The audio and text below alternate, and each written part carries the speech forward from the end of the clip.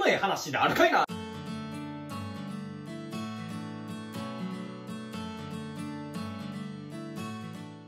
チャオガミです。皆さんは上司や同僚先輩からアルコールに酔いづらくなる方法って聞いたことないですか、まあ、僕もいろいろありまして、牛乳を飲んだら胃に膜が張るから大丈夫やでとか、えー、汗かいたらアルコール抜けるからええでとか、絶対に酔わへんっていう気合が大切やっていう方もいろいろいらっしゃいました。まあいろいろ聞くことはあるかもしれませんが、科学的に絶対これ聞くでってやつ1個欲しくないですか？とりあえずまずこれやっとけってやつ欲しいですよね。ということで今回は科学的に上手な飲み方について解説いたします。今回3たす1の鉄則としてまとめました。それは別で水分を取ること、ゆっくりと飲むこと、食べてから飲むこと、そして休館日を作ること。なんか当たり前やなって感じしますけど、これがマジで重要なんです。なぜかというのをこれから解説していきます。まず一つ目は、お酒以外で水分を取ること。これは理由が二つありまして、えー、胃腸内でアルコールを薄めるため、そして脱水を防ぐためです。まず一つ目、胃腸内でアルコールを薄める。えー、お酒というものは、アルコールが、えー、胃と腸に入ってきた時に、その壁にぶち当たったら、それで初めて吸収されます。で、えー、どんだけ強いお酒があったとしても、お酒1滴に対してコップ1杯の水で薄めたらまあ弱いよっていう状態ができますよね。これを体の中で起こしてあげようぜということです。で、メインの脱水を防ぐことなんですが、お酒飲んだらおしっこしたくなりますよね。あれはなぜかと言いますと、アルコールにはおしっこ我慢パワー、バソプレッシンというものを抑える働きがあります。で、その結果、おしっこ止まらないよ、我慢できないよという状態が出来上がるんです。これ別にアルコールも出ていくからいいでしょうと考える方って結構多いんですが、実はあんまりなんですね。なぜかと言いますと、肝臓で分解される以外のアルコールが体に出ていくものって本当に全体の2%からどんだけ高くても10%までしかないんです。ほとんどは体から抜けないと考えていただいた方がいいんですね。でそれに対して体の水分がバンバン抜けていくのならば体の水分に対して結果的にアルコールはどんどん濃ゆい状態が出来上がるので、えー、かなり良くないよっていう状態なんです。酔っちゃうよっていう状態ですね。じゃあ水分補給お酒でいいんですか？でも飲んだらさらにアルコールが入ってくるんで余計我慢できなくなっちゃうようで、マイナスループが働くので、そのためにアルコールと別で水分を取る必要があるというんですね。二つ目はゆっくり飲むこと。理由は1時間あたりの肝臓のアルコール分解のキャパを超えないため、ちょっと意味がわからんなという方、えー、お風呂の線を抜くときイメージしてみてください。えー、お風呂のお湯というものは、まあ、残り量が多かろうが少なかろうが、えー、出ていくのって一定のスピードですよね。肝臓も全く一緒で、アルコールの分解、えー、お酒をいっぱい飲もうが少なく飲もうが、一気に飲もうがゆっくり飲もうが、1時間あたりに分解できる量、スピードは全く一定なんです。で、アルコールというものは胃と腸からまず吸収されますよね。最初にこれ肝臓に行ってくれます。で、肝臓に行ってある程度アルコールを分解して、分解しきれんかった残りが全身にわーっといっちゃうっていう感じなんですね。もし一気にお酒を飲んだとしたら、それだけ、えー、いきなり肝臓にアルコールがぶち込まれていくんで、えー、その分取りこぼしがめっちゃ多くなるんです。まあ、例えば、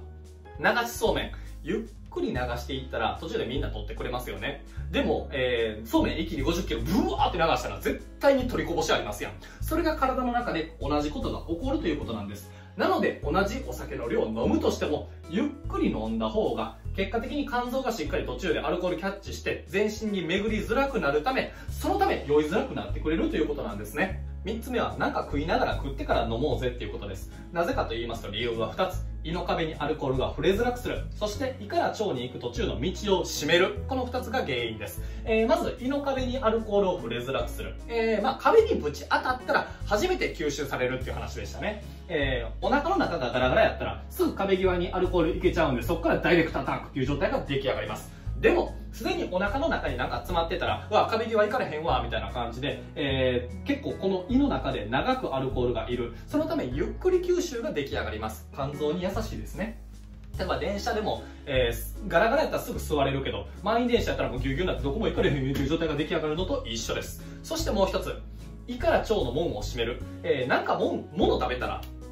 えー、胃で一旦消化しますよね。なので、えー、すぐにダイレクトアタック腸に行かないように、一旦弁膜という胃と腸の間がギュッと締まるんです。で、それでゆっくり消化ができるっていう体の仕組みがあるんですね。だから、まあ、すぐに腸に行かないようにする。で、えー、胃と腸のアルコール吸収の割合なんですが、胃が20%に対して腸での吸収が80%圧倒的に腸に行った方がアルコールってギューって吸収されるんですね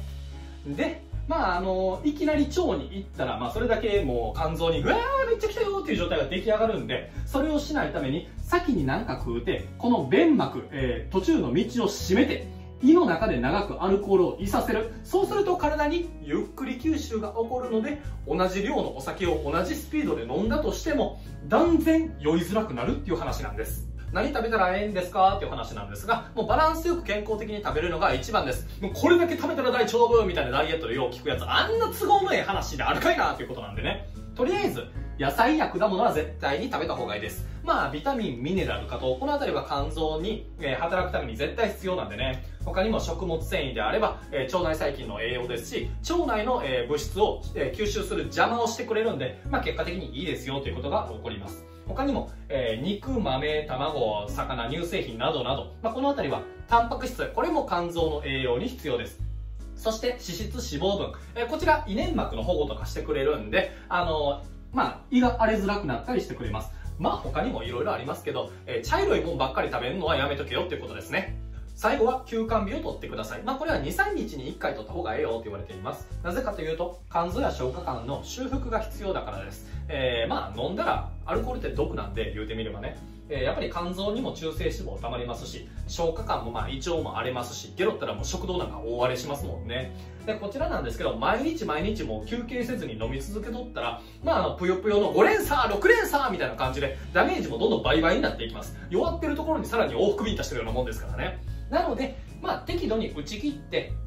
えー、修復、再生する時間を取ってあげた方が結果的に体も元気になりますんで、まあ、断然こっちの方がいいっすよっていうことですね。ということで今回は科学的に上手なお酒の飲み方3たす1の鉄則について紹介いたしました。まあ別にこれ真面目にもうめっちゃ守らんくても、ちょっと頭の中に置いとくだけで、え、他人にペース握られたりとか、場の雰囲気に飲まれたりとかせず、ちょっと自分のペースで上手にお酒飲むことできるようになるんで、まあ意識したらええかなと思います。次回はこの上手な飲み方と前回紹介したお酒の適量、え、こちらを守ったら、どんなええことがあるかについて心技体精神肉体コミュニケーション、えー、それぞれのメリットを紹介いたします。ということで今回は以上です。最後までご視聴いただきありがとうございました。